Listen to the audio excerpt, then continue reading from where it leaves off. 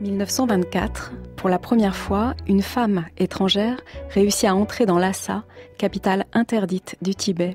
Huit mois auront été nécessaires à Alexandra Davinel pour relever ce défi extraordinaire.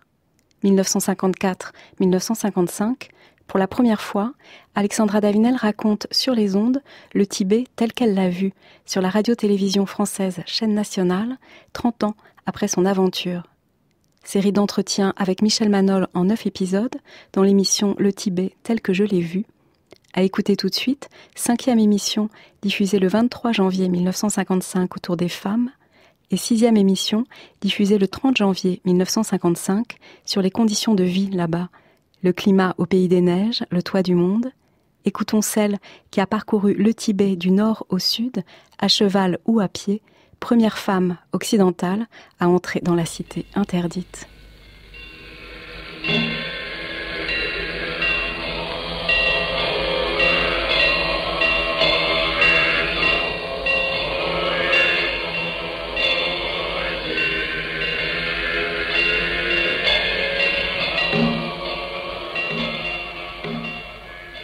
Le Tibet tel que je l'ai vu. Michel Manol interroge Alexandra David Nel.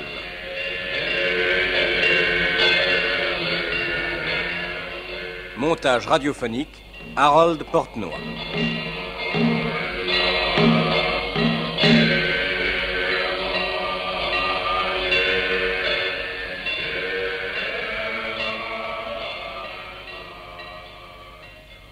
Au cours de nos précédents entretiens, vous m'avez parlé de beaucoup de gens, évidemment.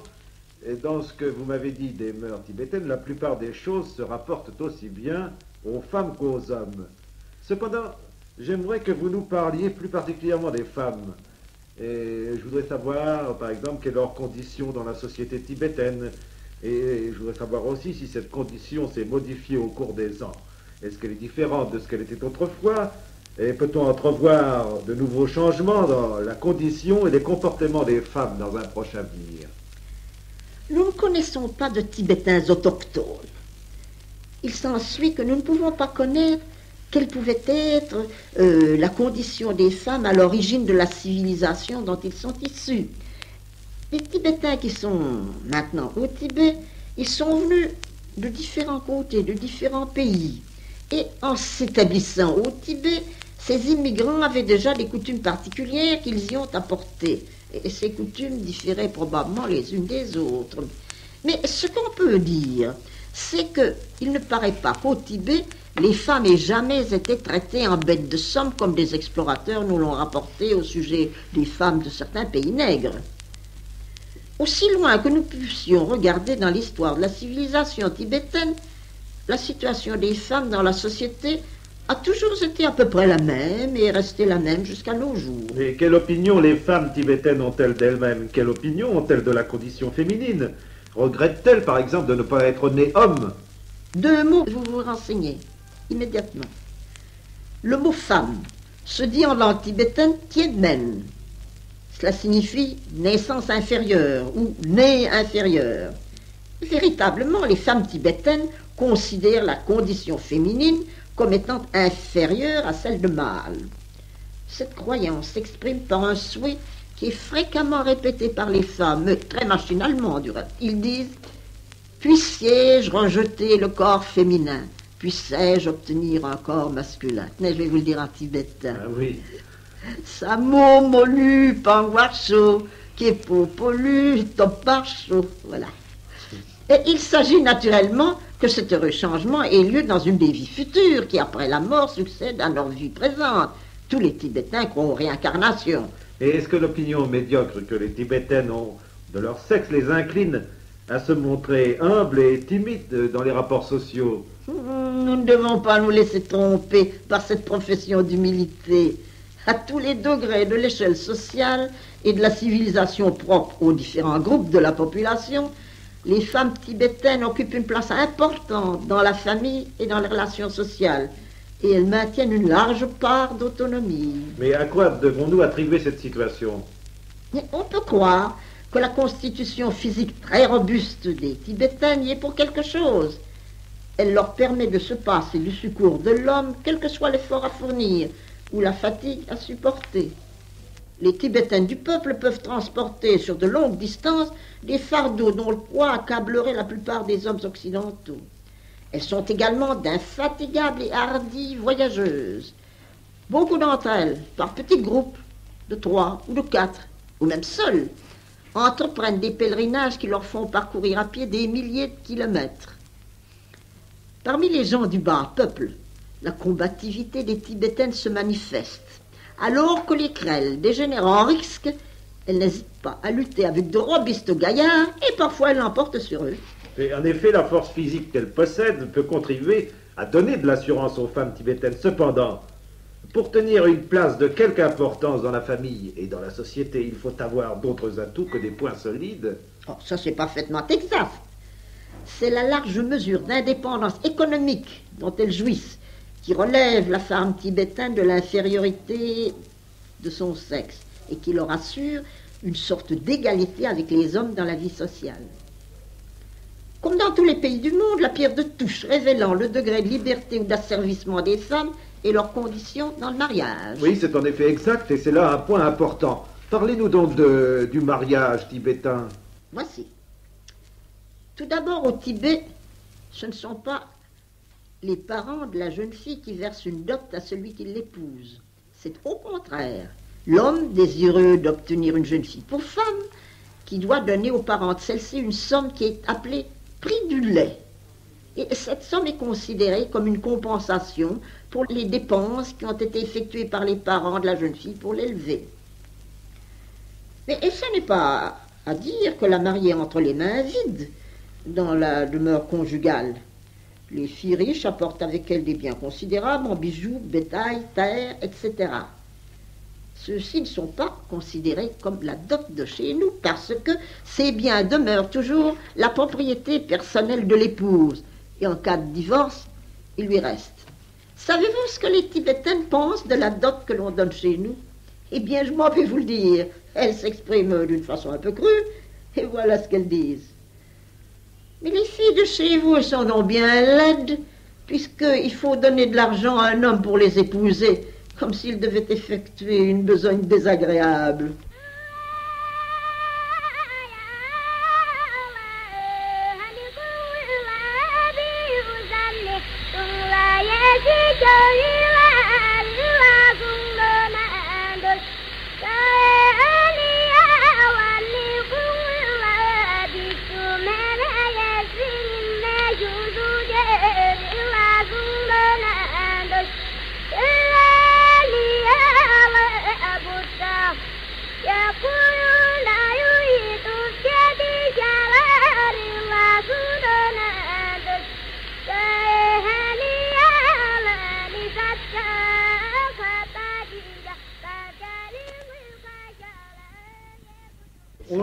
Beaucoup choses à propos des femmes du Tibet. Est-il vrai, par exemple, que la polygamie existe là-bas? Au Tibet, il existe plusieurs sortes de conventions matrimoniales. On y rencontre la monogamie, ah, c'est le cas le plus fréquent. Il y a également la polygamie, la polyandrie et l'union libre. Toutes ces formes d'union conjugale sont admises et elles sont tenues comme également respectables. Comme je viens de vous le dire, la majorité des Tibétains sont monogames. La polygamie est presque uniquement pratiquée par des hommes riches. Elle ne comporte jamais un harem et la séquestration des femmes entre ses murs. Elle se borne en général à une dualité d'épouses, rarement à trois, qui sont toutes également légitimes. Le désir de s'assurer une postérité est souvent le motif qui engage l'homme à contracter un second mariage lorsque sa première femme ne lui a pas donné d'enfant des considérations d'intérêt, euh, une alliance propre à procurer des avantages matériels peut aussi induire un homme à conclure un second mariage. Le désir amoureux n'est pas à écarter complètement, mais ne joue généralement qu'un rôle très minime en cette circonstance. Mais il est assez commun en Orient qu'un homme ait plusieurs épouses. Mais je voudrais savoir, être particulièrement renseigné au sujet des femmes qui ont plusieurs maris. Et la polyandrie dont beaucoup d'auteurs ont parlé euh, n'en comprennent pas bien les règles du reste. Celle-ci vise à éviter le partage des biens de la famille en limitant le nombre des héritiers et en les maintenant unis dans une collectivité d'intérêts. Il s'ensuit que la polyandrie est pratiquée dans le cadre de la famille, pas avec des étrangers. La femme épousant le frère aîné devient l'épouse commune de ses frères cadets. Les noms de ceux-ci ont été mentionnés dans un acte écrit, ou ils ont été mentionnés verbalement chez les illettrés au cours de la cérémonie du mariage. Ce jour-là, la mariée est exhortée à témoigner de la bienveillance et du dévouement à ses beaux-parents, aux membres de leur famille, et il lui est aussi recommandé de traiter avec une égale sollicitude ses différents époux, sans faire de différence entre eux. Ce commandement-là revêt une importance particulière, parce que d'après la coutume, c'est l'épouse commune qui a la garde et l'administration des fonds de la famille. C'est à elle que sont versés les profits effectués par les co-époux, et c'est elle qui pourvoit aux besoins de ceux-ci et des enfants qu'elle a d'eux, et en général à toutes les dépenses à solder. Et dites-moi, il doit arriver fréquemment que les femmes s'éprennent euh, plus particulièrement de l'un ou de l'autre de leurs époux Évidemment, il est impossible qu'une femme n'ait pas de préférence. Mais il faut comprendre que dans la plupart des cas, la polyandrie est plus nominale que réelle. Les frères époux se trouvent rarement réunis au domicile familial. L'aîné seul y réside de façon à peu près permanente avec sa femme. Ses cadets, parmi eux, les uns voyagent pour les besoins de leur commerce, d'autres ont établi des comptoirs en Chine, au Népal ou dans l'Inde et y séjournent presque continuellement. Euh, d'autres encore prennent soin de propriétés familiales qui sont situées à distance de la demeure ancestrale. La polyandrie stipulée dans le contrat de mariage n'empêche d'ailleurs pas les cadets de se créer un foyer indépendant, s'ils possèdent, bien entendu, des ressources distinctes du revue du patrimoine familial. Est-ce que les frères cadets sont tenus de demeurer pendant toute leur vie les maris de la femme euh, qui leur est commune avec leur frère aîné, le chef de la famille? Non. Le divorce existe au Tibet. Mais dans le cas de la polyandrie, il est loisible aux frères cadets de renoncer à l'épouse commune sans divorcer. Ils peuvent se marier légitimement hors du cercle de la famille. Mais toutefois, ils risquent alors de perdre leur droit d'héritier sur les propriétés patrimoniales. Ou du moins, ce droit peut leur être contesté. Et puis, ah, et puis, il y a la dame qui parfois ressent l'abandon d'un de ses époux. Elle se considère comme dédaignée, sans offense.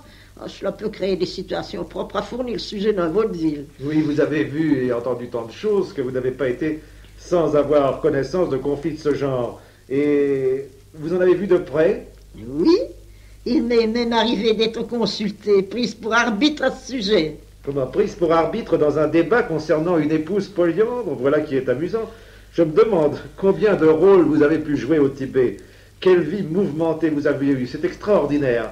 Mais parlons de cette femme polyandre, au sujet de laquelle vous avez été consulté. Quels étaient ses griefs?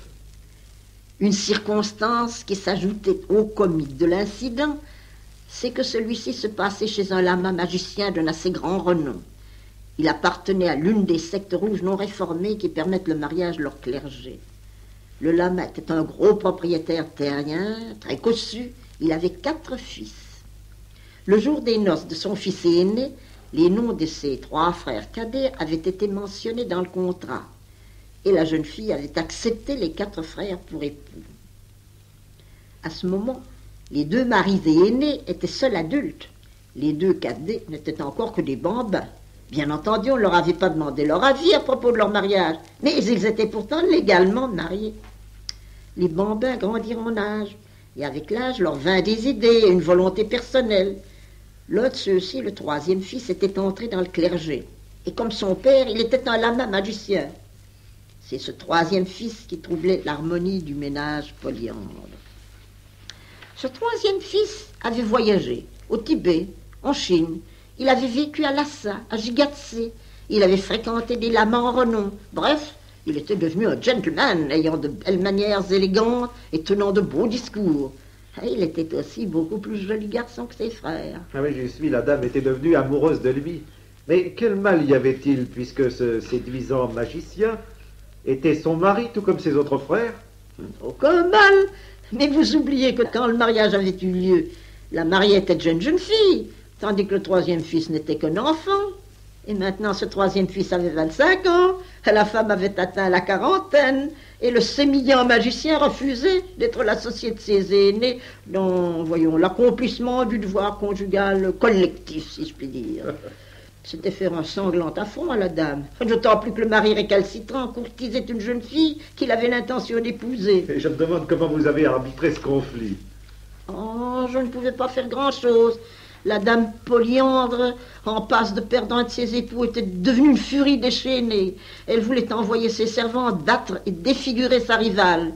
Ses, beaux-parents étaient consternés, c'étaient des gens très respectés, ils craignaient le scandale. L'époux récalcitrant était un ami de mon fils adoptif. Celui-ci lui conseilla d'aller s'établir dans une autre région et de prendre la jeune fille qu'il aimait comme Youm. Cela le dispenserait d'un mariage du genre civil. Mais qu'est-ce que vous entendez par Youm Est-ce une concubine? Oh, concubine est un vilain mot en français. C'est absurde, mais enfin, c'est comme ça. Youm est le terme par lequel on désigne respectueusement une mère. Ama est le terme ordinaire. Et Youm, dans le cas que nous examinons, désigne la compagne d'un lama appartenant à l'une ou à l'autre des sectes tantriques qui enjoint aux membres de son haut clergé d'avoir une épouse. L'union du lama avec sa compagne est consacrée par le maître spirituel du lama. Les deux époux doivent être instruits de certaines doctrines ésotériques et reçoivent ensuite une initiation. Leur mariage est une union religieuse, tandis que le mariage ordinaire est un acte purement civil. La Yum et son époux, le Yab, sont indissolublement unis non seulement pour la vie dans ce monde, mais il leur est dit qu'ils le sont pour leurs existences à venir et qu'ils se retrouveront ensemble au cours de leur réincarnation successive. Le but de ces unions n'est pas de fonder une famille. En général, ces mariages n'ont pas d'enfants, et en principe, ils ne devraient pas en avoir. Si l'un des deux conjoints meurt, celui qui lui survit ne doit pas se remarier. La fidélité conjugale à laquelle on n'attache pas une grande importance au Tibet est expressément commandée à ceux qui ont contracté cette sorte d'union mystique. Et cette fidélité absolue est-elle toujours strictement observée? Sans qu'elle le soit, dans la majorité des cas. évidemment, il y a des exceptions. L'esprit est bon et la chair est faible. Oui, je vois que vous avez personnellement connu de ces exceptions. Oui. Je me souviens de trois époux peu stricts quant à leur fidélité. Leur conduite pouvait être dictée par des motifs d'ordre supérieur. Les théories tantriques sont fort compliquées à ce sujet, hein, je ne peux pas vous les exposer. L'un des, oh, bah, disons, des délinquants arguait des motifs qui concordaient avec les théories enseignées dans la secte à laquelle il appartenait. Les deux autres, ma foi, ils jugèrent inutile de me donner des explications. Et les épouses, comment prenaient-elles la chose? Ah, l'une des épouses me dit Le lama, c'était son mari, se conduit mal. Je suis sa compagne initiée, il ne doit point avoir de relation avec une autre femme. Le péché est pour lui. Il en subira les conséquences. Moi, je demeure dans le devoir. Cette femme était très digne. Une autre conçut cette idée baroque elle allait se plaindre au général chinois musulman qui exerçait l'autorité sur cette partie du territoire tibétain. Le musulman à qui sa religion permettait d'avoir quatre femmes légitimes a dû rire de l'exigence de la dame qui prétendait garder son mari pour elle toute seule. Mais il était très au courant des mœurs tibétaines. Il savait que ce lama, d'après la loi qu'il régissait, devait la fidélité à Sayoum. Il le fit appeler. Que lui dit-il? Je n'en sais rien, naturellement, mais il aurait été très amusant d'écouter le dialogue. Alors, cette sorte de mariage religieux que vous venez de décrire n'est pas véritablement une union libre, mais d'après ce que vous avez dit tout à l'heure, les unions libres sont très nombreuses au Tibet. Très nombreuses. Elles sont considérées, je vous l'ai dit, comme parfaitement respectables. L'on rencontre surtout l'union libre parmi les commerçants. Chez eux, la femme est d'ordinaire une associée, une partenaire active, qui souvent aussi poursuit conjointement avec les soins qu'elle donne aux affaires de son mari d'autres entreprises commerciales qu'elle gère seule et dont elle récolte seule les profits, accumulant ainsi un capital qui est sa propriété personnelle. Mais quel que soit le genre de leur union, les femmes tibétaines ne sont jamais reléguées à l'intérieur de leur maison. Toutes circulent librement, reçoivent et rendent des visites, participent aux fêtes et aux banquets, et au cours de ces réunions, elles s'entretiennent sans timidité avec les hommes. Mais comment se font les mariages? Est-ce que les jeunes gens euh, courtisent euh, les filles qu'ils désirent épouser? C'est très rarement le cas.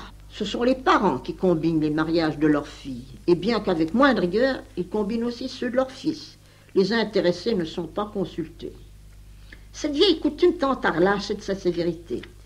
Et les relations plus étroites récemment renouées entre le Tibet et la Chine euh, contribueront à les faire disparaître. En Chine, les mariages conclus sans la volonté formelle des deux époux ont été officiellement désapprouvés depuis une dizaine d'années. Ah, maintenant, ils sont complètement interdits. Pouvez-vous me dire ce qu'il en est du divorce au Tibet? Le divorce est permis au Tibet. Il est même assez fréquent. Et les femmes divorcées se remarient facilement. La femme, aussi bien que le mari, a le droit de demander le divorce en exposant ses griefs devant un chef dont l'importance varie suivant le rang social des plaignants. Les anciens d'un village, les témoins qui ont hum, procédé au mariage peuvent, chez les paysans, être arbitrés juges et décréter le divorce, ainsi que les conditions de restitution de biens, d'indemnités, etc. Il n'y a guère de drame passionnel au Tibet. Les Tibétains attachent peu d'importance aux relations sexuelles. Les maris se contentent de réclamer une indemnité à celui qui leur a enlevé leur femme. Et de leur côté, les femmes réclament une compensation aux femmes qui ont notoirement détourné leur mari d'elles. Et dites-moi, est-ce que dans l'histoire de Tibet, on compte certaines femmes célèbres? Contrairement à ce qui en est en Occident, en Asie, la religion n'est pas affaire de femmes. Philosophie ou mysticisme sont du domaine masculin. Et alors c'est donc vers le négoce, exceptionnellement, vers de secrètes intrigues politiques que les Tibétains tournent leur intelligence pour exercer les qualités d'énergie euh, que beaucoup d'entre elles possèdent. Tenez, pendant la période troublée qui succéda à l'assassinat en 900 de Dharma, le dernier des rois du Tibet, alors que le pays se trouva divisé en nombreux petits États, il arriva plus d'une fois qu'à la mort de l'un ou l'autre de ceux-ci, sa veuve ou sa fille prit le pouvoir en main. Certaines de ces vaillantes dames commandèrent de petites armées, d'autres se défendirent avec succès dans leurs forteresses assiégées. Cependant, leurs noms ont été oubliés ou ne sont imparfaitement connus dans des légendes. Ce sont les annales chinoises qui nous signalent l'existence d'une reine régnant sur une vaste étendue de territoire au Tibet oriental. Euh, ce fait, bien que mentionné de façon imprécise, n'a rien qui puisse nous surprendre. Quant aux Tibétaines qui demeurent dans les coulisses, manœuvrant de hauts fonctionnaires, leurs maris, elles ont toujours été et sont encore nombreuses. Jusque vers 1910, une Tibétaine, femme du Maharaja du Sikkim dans l'Himalaya, ne cessa d'intriguer, d'ailleurs sans aucun résultat, contre la politique envahissante des Britanniques dans son petit État. Le Maharaja, son époux, n'était que son instrument. Ce sont des femmes de ce genre qu'à défaut de grandes reines, nous rencontrons le long des chroniques du Tibet. Tenez, en voici une. Poyong nous est représentée comme une fille d'assez basse condition, qui, devenue épouse du roi Titsong d'Etsen au 7e siècle, occupa les fonctions que l'on peut appeler tenez, d'argentier sous l'ancienne monarchie française. Une espèce de ministre des Finances, bien plus puissant que les nôtres, puisque les fonds étaient en sa main. En tant que surintendant des deniers de l'État, c'est elle qui pourvut aux dépenses nécessitées par la construction du monumental originel monastère de Samier. Poyon était, comme je vous l'ai dit, d'humble origine. Au cours d'une fête publique, le roi l'avait distingué à cause de sa beauté.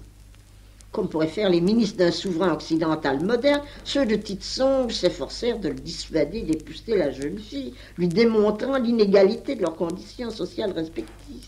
Pour le convaincre, il mit même en avant le témoignage d'un voyant qui déclara que dans une de leurs existences précédentes, celle qui était maintenant Poyon avait été la mère de celui qui maintenant était lui-même le roi Tisson. L'ouvrage dans lequel je lis cette histoire, et qui s'appelle Pemadjong Nekiarap, elle fait dire au roi peu m'importe sa basse naissance, peu m'importe qu'elle ait été ma mère, je l'épouserai. Et ainsi fit-il.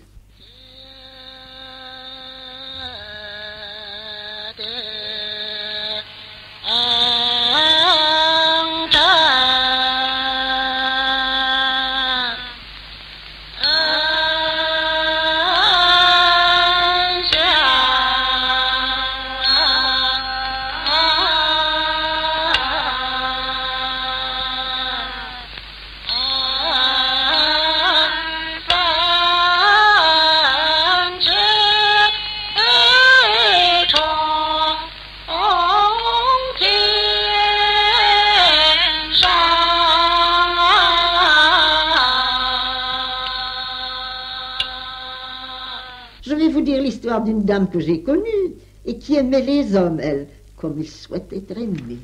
Il s'agit d'une dame polyandre. Dans les familles euh, où la polyandrie est pratiquée, les enfants appellent père l'aîné des narines. Les autres sont appelés oncles. Depuis longtemps, le père en titre m'avait déclaré qu'il avait toute bonne raison de croire qu'il était le père véritable d'un jeune lama de 18 ans qui, par son intelligence et son savoir précoce, faisait grand honneur de la famille. Ah, je le félicitais. Un oncle me dit la même chose. Je le félicitais comme j'avais fait pour son autre frère. Un second oncle me fit une déclaration analogue. Je lui adressai encore mes félicitations. Le jeune lama était venu en visite et j'en profitais pour lui demander s'il pouvait me fournir des explications concernant des textes que j'étudiais à ce moment même. Il me conseilla d'aller consulter son maître, un érudit lama qui vivait très retiré dans une maison située à l'écart dans les montagnes. J'allais le voir. Au cours d'une conversation, je lui parlais de son élève, le jeune lama, et je lui dis que comme élève, il faisait grand honneur. Le lama sourit avec une satisfaction marquée.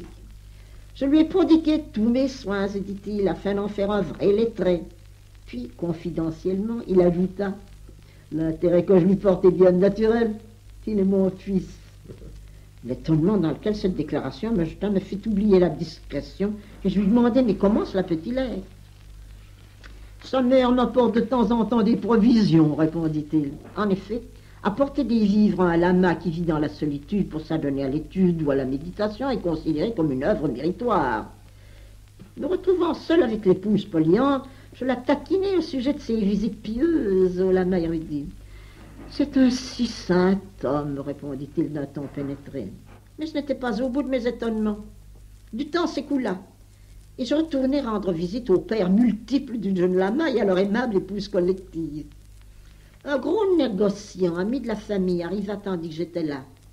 Sachant que je connaissais le jeune lama, fils de Méso, il me demanda de ses nouvelles et se montra extrêmement heureux de l'éloge que je lui en fis.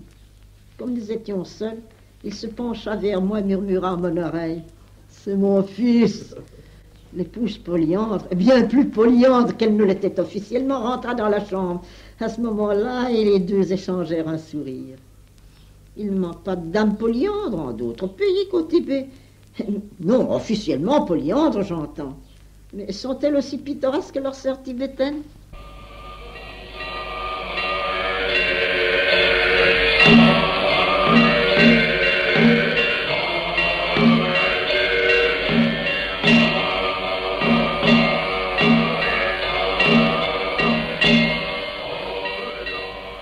C'était le Tibet tel que je l'ai vu. Michel Manol a interrogé Alexandra David Nel.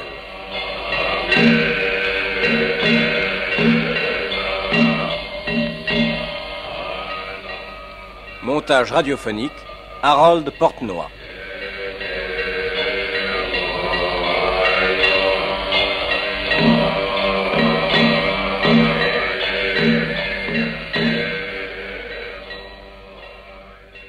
Vous écoutez Le Tibet tel que je l'ai vu en 1955 avec Alexandra Davinel.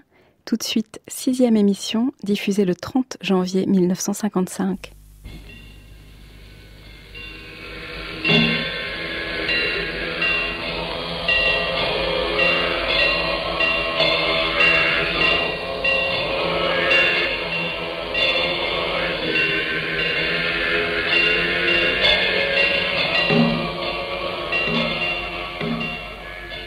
Tibet tel que je l'ai vu. Michel Manol interroge Alexandra David Nel.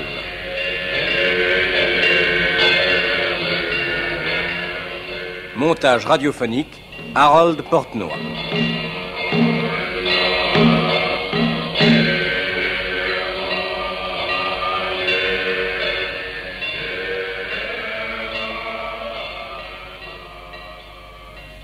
Ce qui nous est dit du climat particulièrement dur du Tibet a dû vous y rendre la vie euh, souvent pénible. J'imagine que vos voyages à travers les neiges ont dû être fertiles en aventures souvent assez déplaisantes, peut-être même dramatiques. Euh, ne voudriez-vous pas nous en dire quelque chose? Je dois tout le temps vous répéter la même chose. Les étrangers se méprennent sur beaucoup de choses concernant le Tibet. Et ils se méprennent grandement aussi quant à son climat. Je puis vous parler par expérience. J'ai parcouru le Tibet en tous sens, du nord au sud et en toutes saisons, tantôt à cheval, tantôt à pied. Et le Tibet n'est pas tout entier le pays glacial que l'on s'imagine être. D'abord, il faut se rappeler que par rapport à l'Europe, le Tibet est un pays méridional. Lhasa est sous la même latitude qu'Alexandrie d'Égypte. C'est la haute altitude d'une grande partie du pays qui le rend froid. Mais le soleil, le magnifique soleil de l'Asie centrale, compense beaucoup les effets de la haute altitude. D'ailleurs, on ne séjourne pas sur les hauts pics parmi les glaciers. Les voyageurs ne font que franchir les cols. Il est vrai qu'un bon nombre de ces cols sont élevés. Ceux qui donnent passage aux chemins qui conduisent de l'Inde au Tibet à travers les Himalayas ont de 4500 à 5000 mètres d'altitude.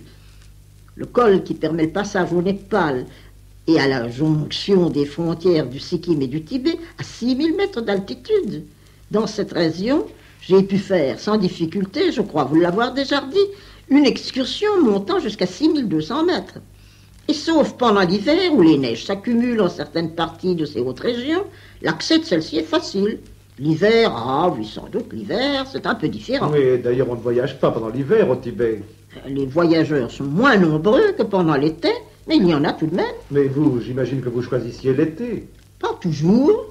Voyager en hiver présente des avantages. Il ne pleut pas. Les sentiers sont secs et les rivières sont gelées, du moins beaucoup d'entre les plus petites. Et l'on peut ainsi les traverser à pied sec. C'est une des raisons pour lesquelles, devant faire à pied le trajet de la Chine à Lhasa, j'ai voyagé pendant l'hiver. Alors, dans vos voyages, vous n'avez jamais été arrêté par les neiges Vraiment arrêté, non, puisque j'ai fini par passer. Mais mon fils adoptif et moi, nous avons pourtant failli être arrêtés définitivement. Et au lieu d'arriver à Lhasa, nous aurions bien pu arriver plus loin, dans un autre monde. Et vous avez réellement failli périr Tiens, ah, cela peut arriver à tous les explorateurs. Cela n'a rien d'extraordinaire. Mais les gens de votre caravane étaient-ils nombreux? Quelle caravane? J'ai toujours eu horreur de voyager en groupe. Quand je voyageais à cheval, j'avais parfois deux ou trois domestiques. Mais cette fois, nous étions à pied et seuls. Les provisions, le matériel de campement Les provisions ah, Mais nous emportions un peu sur notre dos. Matériel de campement Mais il n'y en avait pas. Nous nous abritions pour dormir au pied d'un arbre, sous un roc, selon ce que nous trouvions sur notre route.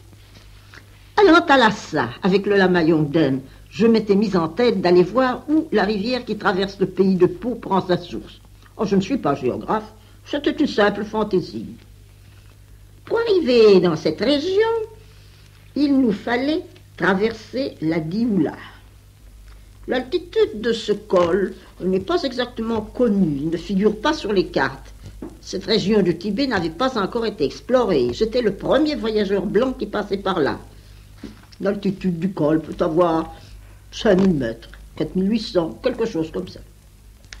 Je ne vous raconterai pas le début de la montée vers le col par un sentier qui cessait souvent d'être visible dans les herbages ou dans les pierrailles.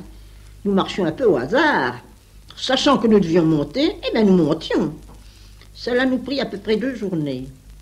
Plusieurs fois nous aperçûmes une crête, et cela nous remplit d'espoir. Nous croyons qu'elle marquait le sommet du versant. Dans l'autre pente, euh, euh, nous pourrions redescendre, pensions-nous. Ah, mais point.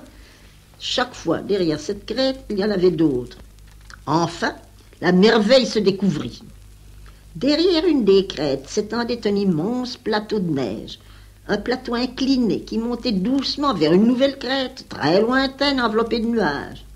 À notre gauche, ce plateau était bordé par une rangée de hauts pics de glace, et à droite, une large vallée couverte de neige aussi montait vers une autre crête.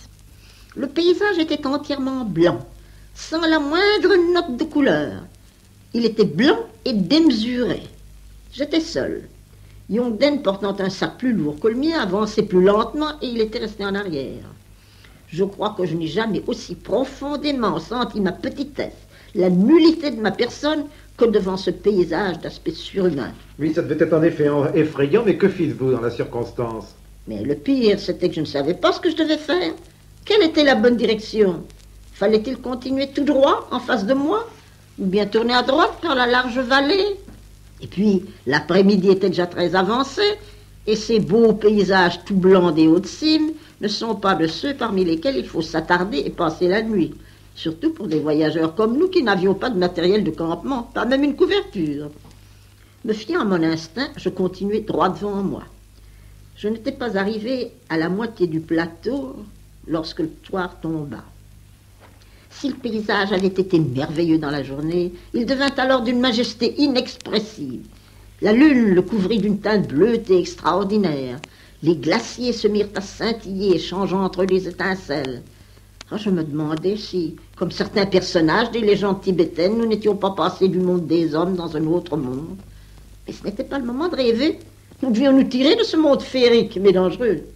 Je signalai à Yonden qu'il eut à me suivre, et je continuai à marcher. Au fur et à mesure que j'avançais, la neige devenait de plus en plus épaisse, j'y enfonçais jusqu'aux genoux. Vers le milieu de la nuit, j'arrivai au sommet du col.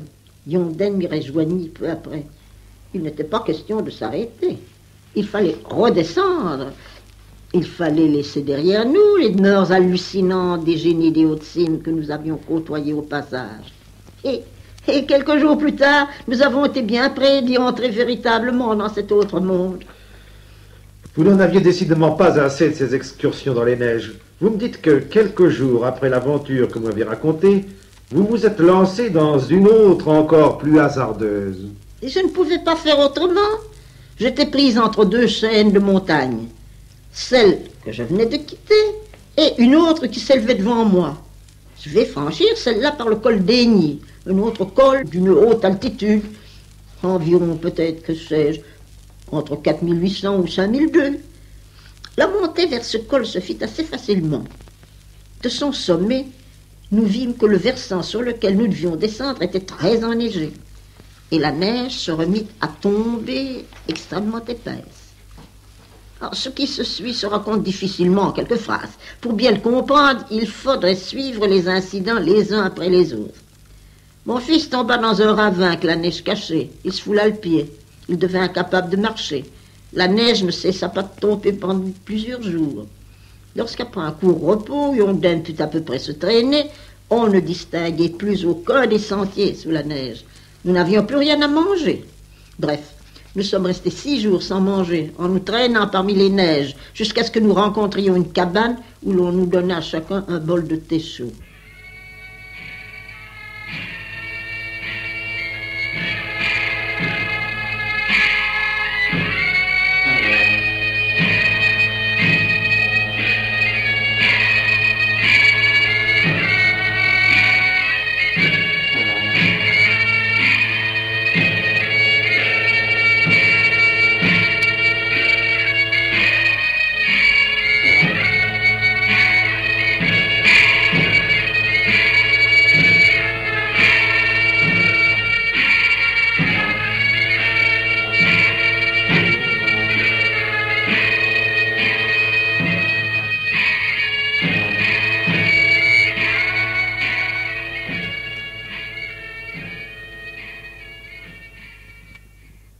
Avant de quitter les neiges, il y a une question que je brûle de vous adresser. Euh, Des auteurs ont parlé d'êtres singuliers, euh, des hommes des neiges qui hantent les glaciers de l'Everest. Il paraît même qu'un journal anglais a subventionné une expédition euh, pour se mettre à leur recherche. Avez-vous entendu parler de ces abominables hommes des neiges?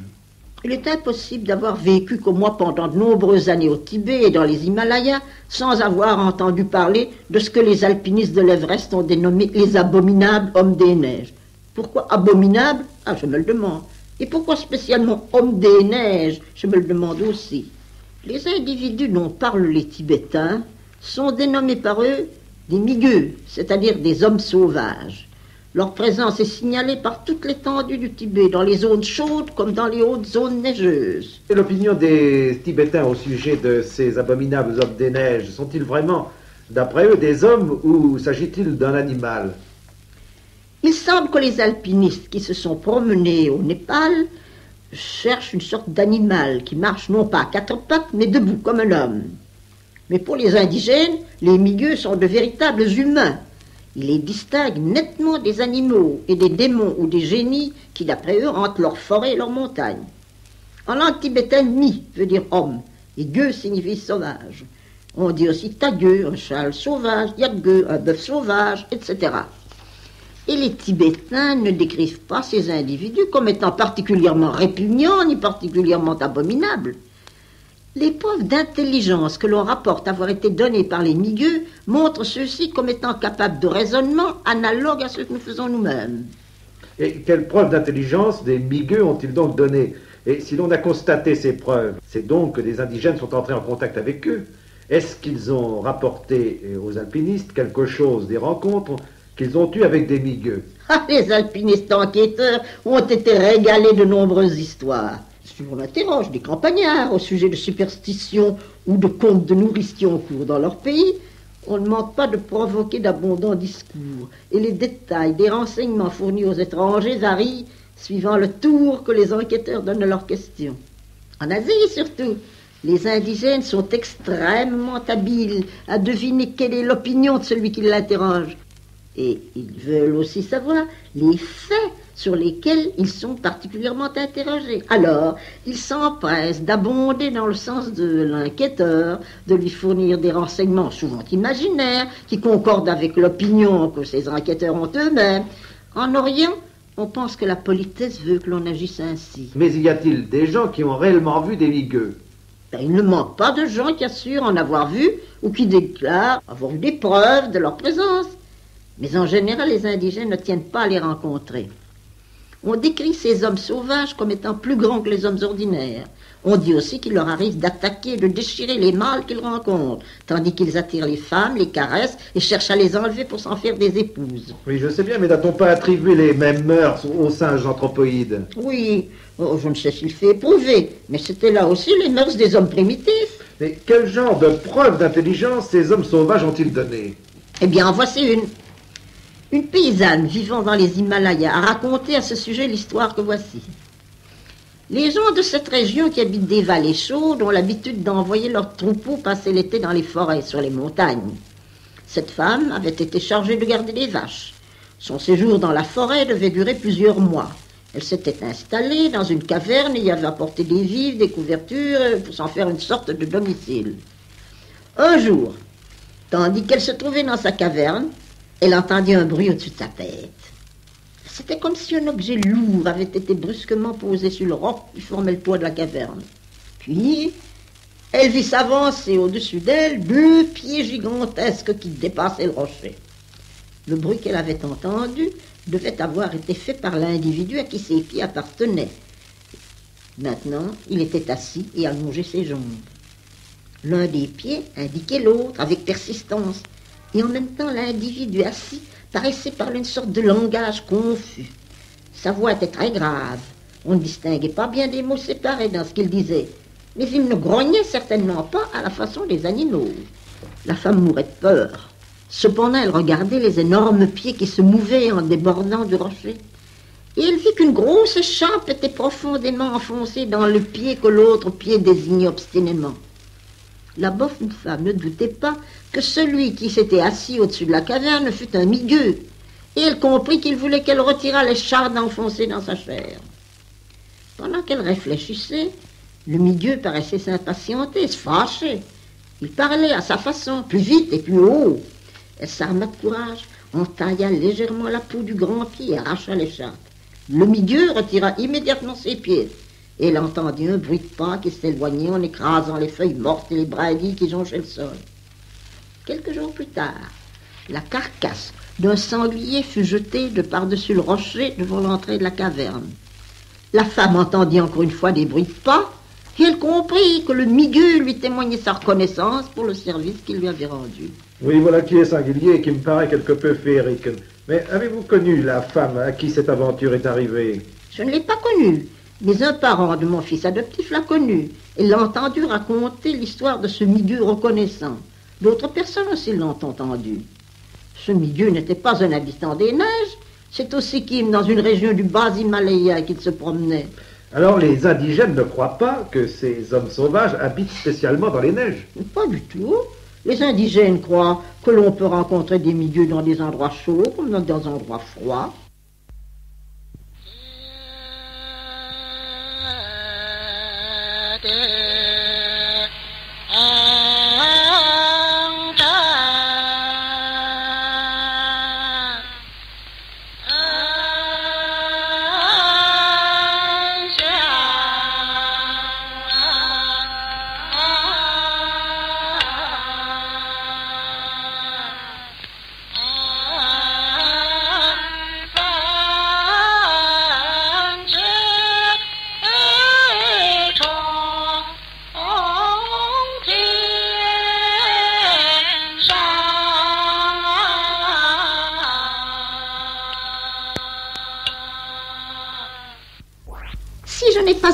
Entendu raconter par la femme elle-même l'histoire du milieu reconnaissant, et j'ai entendu raconter une autre histoire, et cela par quelqu'un qui en était le héros.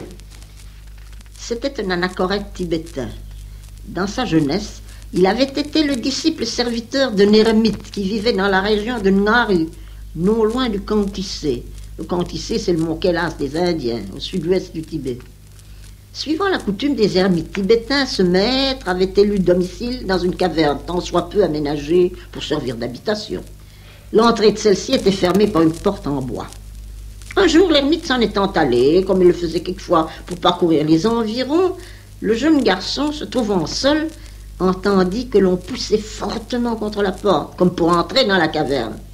Cette porte se fermait par un loquet que l'on pouvait manœuvrer du dehors comme du dedans.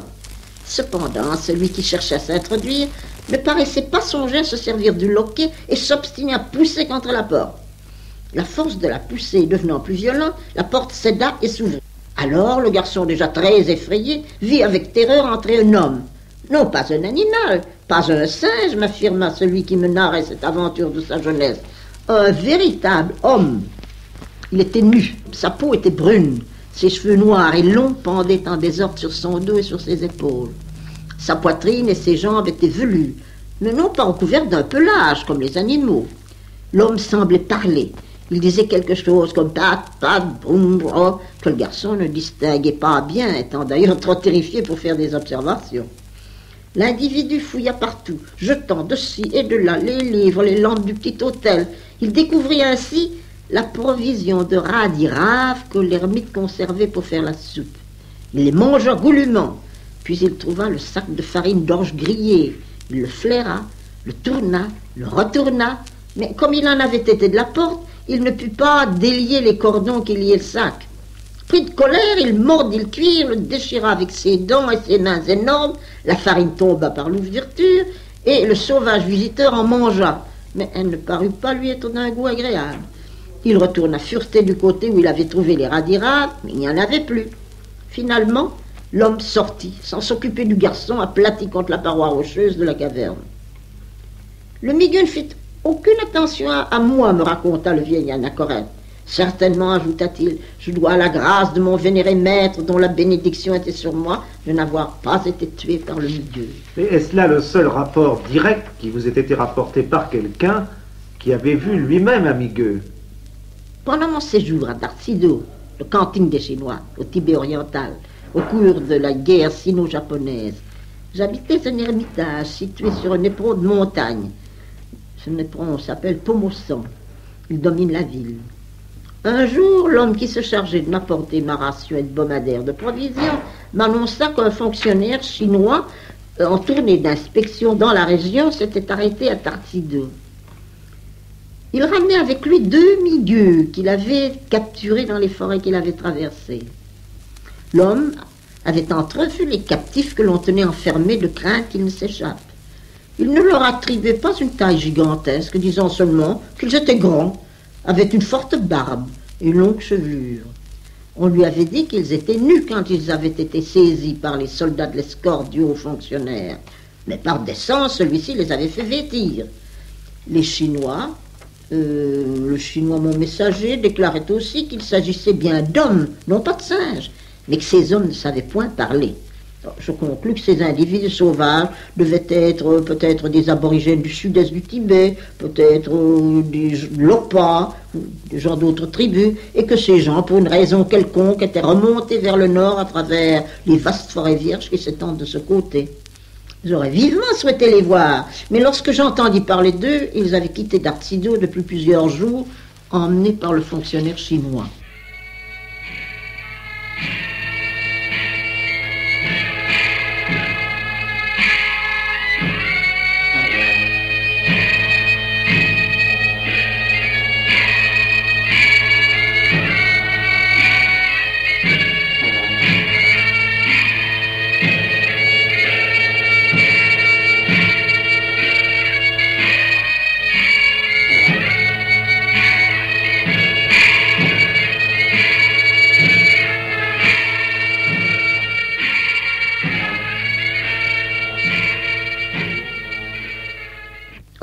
Différents contes qui ont été répandus par les étrangers au sujet des migueux, il en est un qui leur est resté inconnu et qui pourrait bien se rapporter à ces individus fantastiques.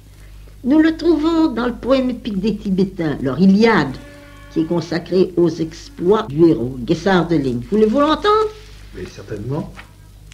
Alors, l'épopée de Guessard narre qu'après avoir vaincu et détruit en les foudroyant, ça c'est le prélude des bombes atomiques, les troupe des deux frères chefs de Hor, Courcard et Courserre, c'est-à-dire Cour le Blanc et Cour le Jour. Restait le troisième frère, Cournac, Cour le Noir. Celui-là, avec un petit nombre des deux camps, était arrivé en retard au lieu où le gros de l'armée s'était réuni et avait été bombardé. Ce retard avait sauvé la vie de ces quelques hommes. Guessard réfléchit, puis dit Oh, ces quelques hommes ne peuvent pas être bien dangereux, laissons-les s'enfuir, sans les poursuivre. Et ces hommes se réfugièrent au loin dans les montagnes du Ngari, à la frontière du Népal. Ah, l'histoire de cette région n'est pas sans offrir quelque analogie avec celle vaguement esquissée au chapitre 6 de la Genèse, parlant des unions des fils de Dieu. Et qui c'étaient-ils, ces fils de Dieu? Ah, sais rien. Avec les filles des hommes qu'ils avaient trouvées belles. Cournac et ses compagnons, qualifiés de démons dans le poème épique, il faut remarquer que les ennemis sont toujours gratifiés de titres estimés péjoratifs. On les appelle démons, terroristes, rebelles, brigands, etc. Donc, ses compagnons de Cournac, s'étant retirés dans les hautes montagnes du Niari, virent dans la région des filles qu'ils trouvèrent belles et les prirent pour femmes. Et du reste, voilà ce qui est dit dans le poème. Ces Orpas sont toujours vivants, cachés dans les montagnes de Niari. Ce sont des êtres gigantesques, tels que prenant un homme ordinaire entre leurs doigts, ils peuvent le rouler comme nous le faisons d'une puce. Dans leur retraite, ils sont multipliés, il en existe un grand nombre de différentes espèces. Devons-nous chercher du côté de cette fantastique légende une confirmation de l'existence des migueux, précisément dans une région voisine de celle que les envoyés du Daily se proposaient d'explorer? En tout cas, ils ont été heureux de ne pas les rencontrer et de ne pas se faire rouler entre leurs doigts comme des puces. Mais voyons, vous qui avez passé tant d'années dans les pays hantés par les migueux, en avez-vous rencontré? Et je ne me hasarderai certes point à l'affirmer, non, non. Mais j'hésite un peu à le nier catégoriquement. Le Tibet et les Himalayas sont les terres élues des prestiges et les doctrines que les sages y murmurent sur les cimes à l'oreille des disciples choisis préconisent une extrême réserve dans la distinction entre l'illusion et la réalité. Donc, au début de mon voyage pédestre vers Lhasa, nous étions dans les forêts, Yongden et moi, toujours déguisés en pauvres pèlerins, et nous cheminions donc du côté du Kakarpo. Nous entrevîmes là, pendant la nuit, deux formes humaines, de taille anormalement haute, des sortes de géants qui s'avançaient dans notre direction sur la piste que nous suivions. Ces individus nous parurent être complètement nus. Leurs cheveux pendaient sur leurs épaules. Ils ne portaient pas de bagages, ce qui est tout à fait inusité de la part de voyageurs qui parcourent des régions désertes. Et contrairement à l'habitude des pèlerins tibétains, les deux personnages n'avaient pas non plus de bâton à la main. À ce moment, nous nous trouvions encore à peu de journées de marche de la frontière du Yunnan, et pour ne pas compromettre le succès de l'aventureux voyage que nous avions projeté, nous devions à tout prix éviter d'être vus. Il nous fallait donc refréner notre curiosité. Nous nous jetâmes vivement dans un petit ravin proche de nous et nous nous y aplatîmes parmi les broussailles, perdant ainsi les deux individus de vue. Ils passèrent sans bruit et nous restâmes dans notre cachette jusqu'au lever du jour. Alors, n'entendant aucun bruit, nous nous aventurâmes à inspecter les alentours. Nulle place convenable pour camper n'était visible et aucune trace dans les taillis ne décelait le passage d'individus de grande taille. Ceux que nous avions entrevus devaient avoir continué leur chemin. L'altitude du col de Dokar que nous allions franchir est de 5412 mètres. L'endroit où nous fîmes cette rencontre devait approximativement se situer à plus de 5000 mètres. Avions-nous vu les migueux En dernière heure, il est rapporté que les envoyés du Délimal ont terminé leur exploration. Ils sont retournés à Katmandou. Ils ont rapporté un beau film et deux graines d'une vingtaine d'espèces de rhododendrons. mais ils n'ont pas vu de milieu.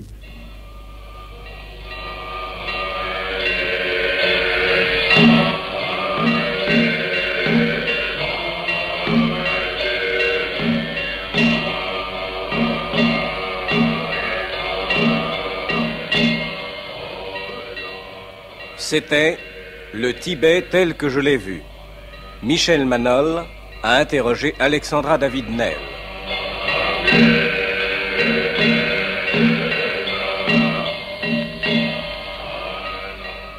Montage radiophonique, Harold Portenoy.